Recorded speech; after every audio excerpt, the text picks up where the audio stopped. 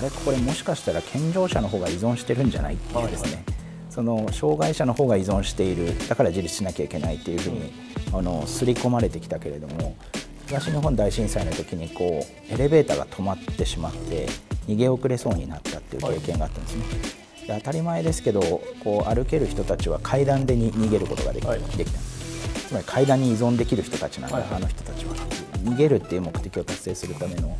依存できる社会資源が私より多かった、はい、自立っていうのはあの少なくとも選択肢がたくさんあることと支配されないことっていうのが必要条件だと思うんです、はい、依存先が1個しかないとその相手から支配される、だから支配されずに選択肢がたくさんあるっていう組み合わせっていうのはあの依存先の数が多い時にのみ成立。する、なのであのあそうか自立というのはやっぱり依存の反対語どころか依存先の数が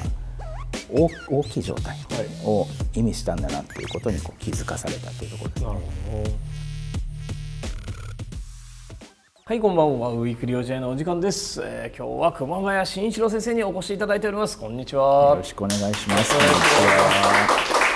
私が熊谷先生に初めてお会いしたのは確か東京オリンピック・パラリンピックの委員会の時にたまたまあのなんか3人一緒に来てもう一方はあのパラリンピックの、えっと、選手の方だったんですけどで3人で、えっと、バリアフリーとかユニバーサルデザインとかいろんなことを話していた中でなんかこの時代にかけっこの一等賞を決めて筋肉1を決めるなんてクソくらいだっていうなんかよくわかんないテーゼで意気投合してしまいあのめっちゃテンションが上がってそれ以来仲良くなったっていう印象なんですけど。よろしくお願いします。まあ、もちろんオリンピックはオリンピックであのいいイベントだと思うんですけれどただまあなんかまあそういう時代でもないだろうって思ってたんですがオリンピックも無事に終わりなんかいろんなことも考えながら今日おしゃべりしていきたいと思うんですがまず熊谷先生のプロフィールをどうぞって。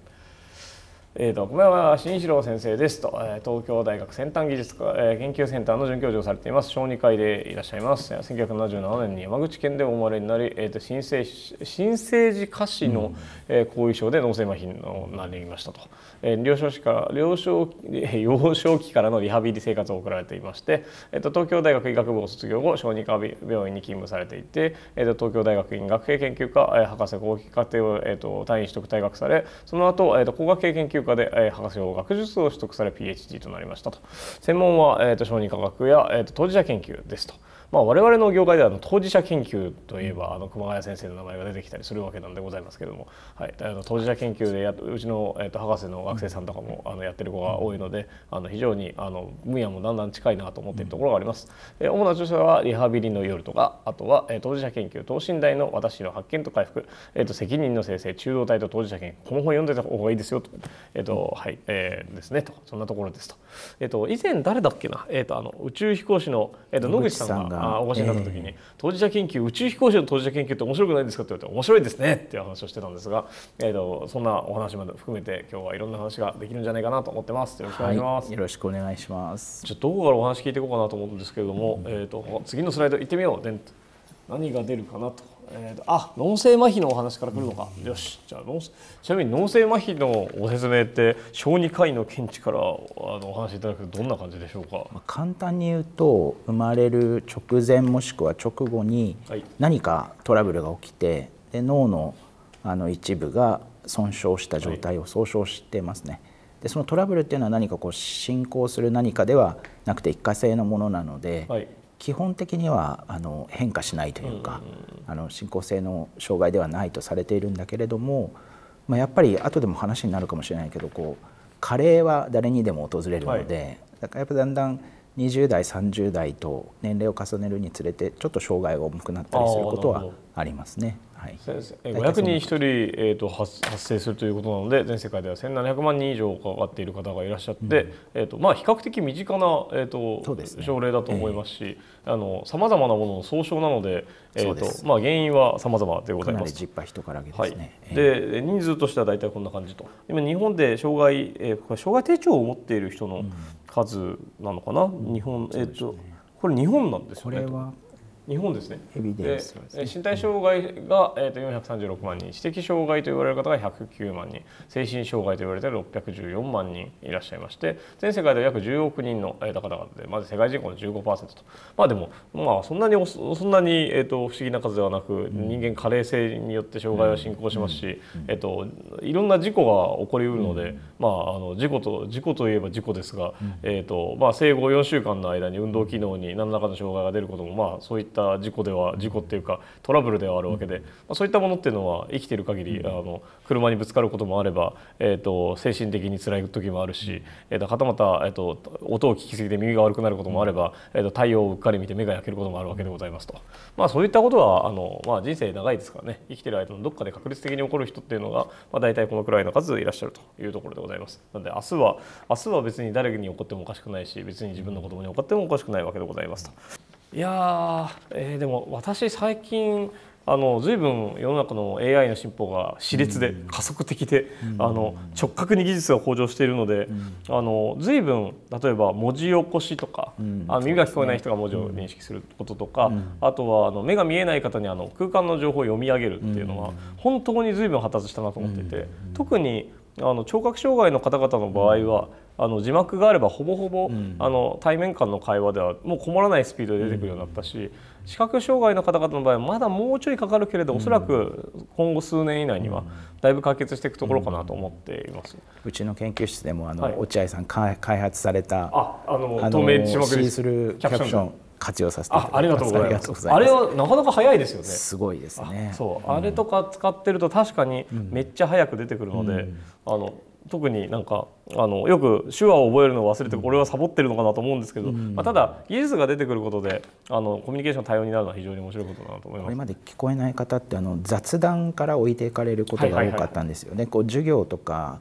あの講演会とかには手話通訳がつくんだけど、はいはい何気ない雑談を盗み聞きするっていう。のができない。ここから排除するああそこがやっぱり次のチャレンジだと思うので、ねはい、あの C スルーキャプションすごくあありがとうございます。いいな。そう。あらゆるところに字幕出てくるとあのそう。チャットしてても雑談適当にバーバー出てくるからまあまあ大体、ね、面白い。う。ちのラボでもあれはやられてるしあと逆にあの高齢者であの耳聞こえにくくなってきた人にもかなりご好評でいただいてて、あとはあのあれですね、えーと、駅の駅じゃないチケットの販売コーナーの透明ガラスがあるところとか、声聞こえにくいところとかにもつけておくと非常にっていうのはあって、あれとかはありかしありますし、いいですね、はい。まあ、その一方僕の中で今やっぱり問題だなと思っているのは、まあ、ロボティクスは AI と比べて進歩がゆっくりなので、例えばまあ電動車椅子って、まあ、大体完成された技術に近づいてはいるんですけれどもただそれが特段軽くなったりとかめちゃくちゃあの段差を超えられるようになってるかといったらそうでもないので、ねはい、車椅子から手が生えてくれてそうあらゆるものを掴んでくれれば。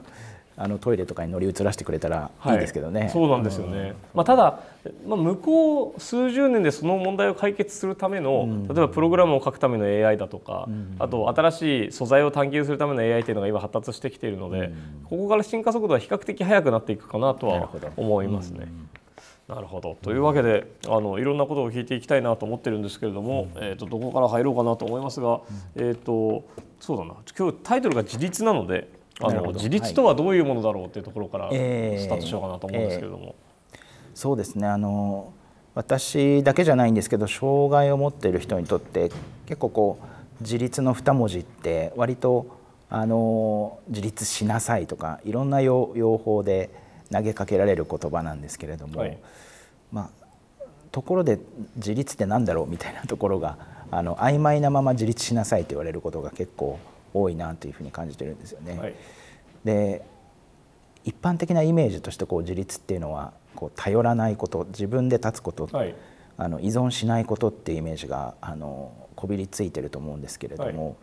少なくとも私は例えばトイレに行く時も自分でできないしお風呂に入るのも自分でできないし洋服も着替えられない。だから依存なしには生活が立ち行かない状態にあるんですよね。そういうこう自立と依存がもし対義語だったら私にとってはまあ自立は不可能なことだっていうのはなんとなくもう分かちっちゃい頃から分かって、はい、でもそれでも自立したいとかですね自由になりたいっていう気持ちはあってじゃあ依存と矛盾しない自立は何なんだろうっていうふうなことがずっと割と小さい頃からテーマだったっていうところですね。はい、確かになんかでも人間は一人で生きてる人はほとんどい,、ないしだって農家の米を食べて生き、えーと 電車を運転する人は誰かいてコンピューターも僕は作ってコンピューターの中のソフトの一部は作れるけど、うん、全部作れるわけじゃないし服だって自分で作ってるわけでもないから、うん、まあ、人間はそれを、まあ、なんかお金に切り替えたりとかあの何らか制度や依存関係によって切り替えて自分ができないことを他人に任せて生きてきて、まあ、たま多分例えば自炊するとか、まあ、さっきおっしゃってたトイレに行くとか入浴するとか、うん、なんか一見するとなんか当たり前のようなことに見えるがただそれができる人の数が多いだけで、うん、もしくはそれがあのパーソナルなものなので、うん、自分の体から切り離すとあの面倒くさくなっちゃうようなことが多いだけで、別にそれは依存性が高どこの依存があっても別に問題ないんじゃないかと僕は個人的には思うんですけども、そうなんですよね。もう私もある時具体的には東日本大震災の時に気がつかされたところがあって。あれこれもしかしたら健常者の方が依存してるんじゃないっていうですね、はいはい、その障害者の方が依存しているだから自立しなきゃいけないっていうふうに、うん、あの刷り込まれてきたけれども東日本大震災の時にこうエレベーターが止まってしまって逃げ遅れそうになったっていう経験があったんですね。で当たり前ですけどこう歩ける人たちは階段でに逃げることができはい、できたんですね。つまり階段に依存できる人たちなんだ、はいはい、あの人たちはっていう。逃げるっていう目的を達成するための依存できる社会資源が私より多かったんだ、うんはい、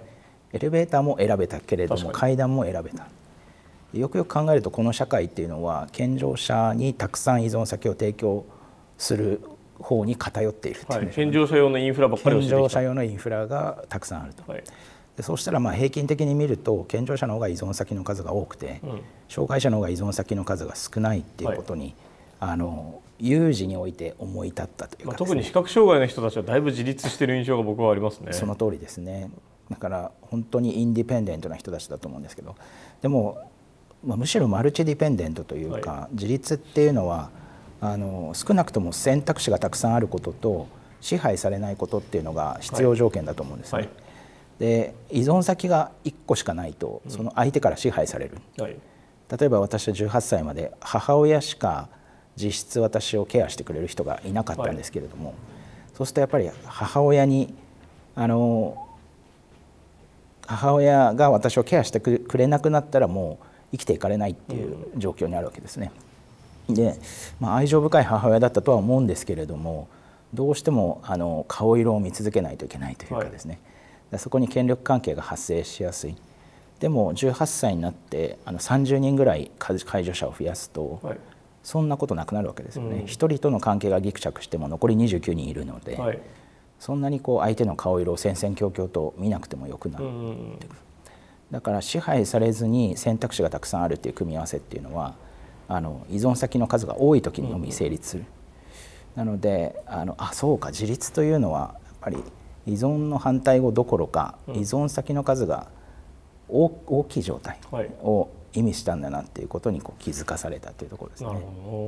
まあ、なんかよく自給自足と自立とか言うじゃないですか、うん、で山の中とか森の中とかもしくは田んぼで自給自足してる人たちは依存先が自然で自然それそのものなので、まあ、人間の数では測られないっていう利点はあったりするけれど、それは物に物や、えー、環境や、うん、あとは動植物に、いや太陽の恵みに依存しているというだけで,、別にそれが人的な依存に限らなければあらゆる人は何かに依存して生きてるというのは間違いなくそうですよね。あともっとこれを普遍していけばあの人工呼吸器とか、はい、あのを使いながら生活をしている人まで視野を広げると私たちは内臓に依存していたりとか、はい、あの腸内細菌に依存してきたりとかそういうふうにそのこ、まあ、体っていうものも実は依存先の一部になっていくっていうんでしょうか、うん、ある種体が環境になっていくというか、うん、そういうあの認識にだんだん広がっていたという感じですよね。まあ、確かに、うん、それはそうですね。なんかちなみにリハビリ生活って、うん、書かれてるんですけれども熊谷先生にとってリハビリっていうのは、うん、でもリハビリって「リ」ってついてるじゃないですか、ええ、つまりそうですね。そうですね、リハビリって印象がなさそうだなって勝手に思ってるんですけどそうですね。これはどうですか？あのおっしゃる通りですね。一部の人たちはハビリって呼んだりしますよね、はい、生まれつきもう物心ついた時からこの体なので、はい、理っていうのがピンとこないっていうところがあるのでむしろこう住処を見つけるっていう意味でこの世界アウェーだと、うん、アウェーなこの世界の中に自分の住処を見つけるっていうふうないまあイメージでハビリテーションっていうことを使うことがありますよね。そっちの方がまあどっちかというとピンとくるっていう感じですね。まあ、確かに。中途障害だったらまた別ですけどね、はい、途中からあの障害を負われた方は、はい、あのまあ、彼らの場合はあの機能の回復だから理の方が、理の方が分かりやすいかもしれないですけど、えー、生徳的っていうか先天性の場合だったり、ね、特に脳性麻痺とかの初期のあの障害発生の場合は、まあ、どうやってその今ある身体で暮らしていくかっていうのがね、子どもが知的障害なのですが障害児の親の自立とはどういった状況や思想になると思われますか、そうですね。私も結構あの親の会っていうんでしょうかね、障害をもの障害のあるお子さんを育てておられる親の皆さんがコミュニティを形成していてでその親の会で一緒にあの考えたりとかあるいは講演会で話したりっていうことがあるんですけれどもやっぱりこうさっきはその障害を持っていると依存先が少なくなるっていうお話をしましたけれどもあの現在の社会ではですねその障害を持っている本人だけじゃなくてあのその子を育てている家族や親も依存先が二次的に少なくなることが多いと言いますかね。だから実はその人のせいにするなってどういう意味ですか？あこれいい質問ですね。私がちっちゃい頃リハビリをしていた頃っていうのはうまく歩けないのは全部自分の責任みたいに思ってた時期もあったんですよね。でもいやそうじゃない。その社会が私たちの自由を奪ってるんだってなった時には、はい、一旦全部社会のせいだっていうふうにした時期もあったんですよね。はい、ずっと自分をの責任自分が悪いんだ悪いんだっていうふうに思った人にとってはあの一旦自分じゃなかったんだっていうふうに外に責任を